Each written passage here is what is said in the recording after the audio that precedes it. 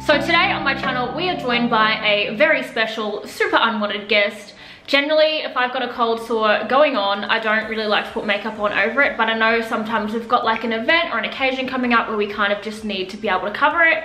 So that's what I'm going to talk to you guys about today. Now, I've had a few cold sores in my past, lucky me, and I've had this one since Friday. Today is now Wednesday, and it's still there. So generally when I feel a cold sore coming on, I feel like the little tingle, the little lumps coming, I go straight to the chemist. They've got some tablet, you take it and it makes the cold sore not get like as bad as it would have had you have not taken the tablet. If you take it early enough, it can actually completely get rid of the cold sore, which is amazing. However, I noticed mine coming on Friday night and it was too late for me to go to the chemist. So I was like, do you know what? I'm just gonna have to have a cold sore.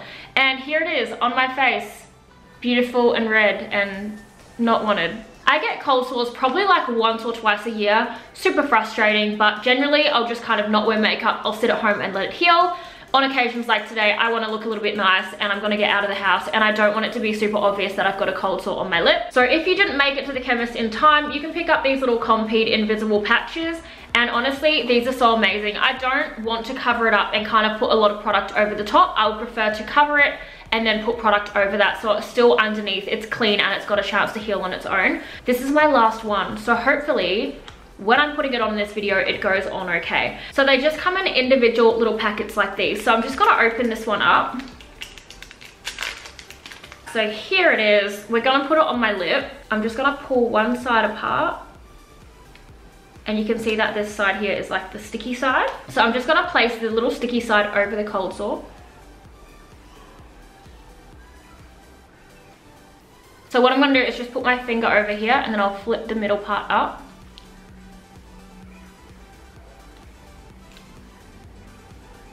And then push that down. All right, so this is what the patch looks like on my lip. Generally, I'll put these on for the majority of the time while I've got the cold sore if I didn't get that tablet in time. I find that it does make them a little bit less painful. It kind of stops them ripping open when you're eating or when you're in the middle of talking because you don't want it to stretch and keep opening, then it's going to take longer to heal. So now I'm just going to go in with a little bit of foundation. I'm going to use my Estee Lauder Double Wear in the shade 3W1 Tawny. Alright, so I'm just going to go in now and blend out that foundation. Honestly, this is my favourite foundation at the moment. It's so nice. So I'm just using little patting motions and I just want to gently pat over the top of like the little sticker. I'm just going to do the rest of my face as normal. So I'm just going to go in with a bit of concealer under my eyes and down the center of my face. Now, if you guys want to see how I do my makeup, I'll attach one of my recent tutorials down below where I use pretty much the same products. I'm just going to blend out this concealer.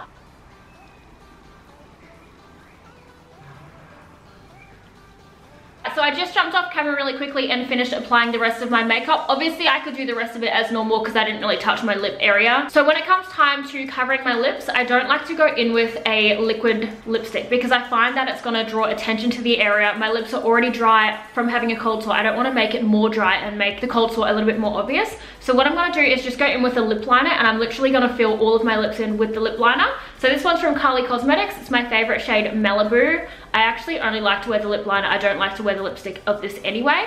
Now I don't want to apply any glosses or anything either because I find that it's going to make the little sticker less sticky if any of it can get underneath there. I just find that the pencil is the easiest way to go and then once I've filled my lips in, I can just sharpen the pencil and then it's safe to go again.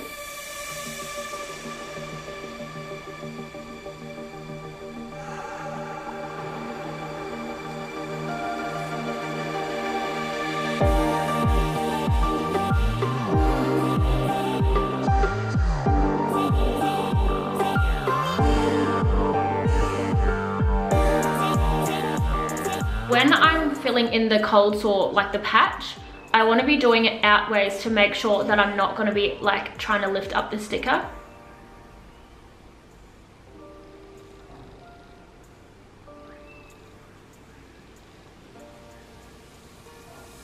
Alright, so the cold sore is now covered up. I'm totally aware you can still see the patch a little bit, but what I love most about this is that we're not putting products on top of the cold sore itself.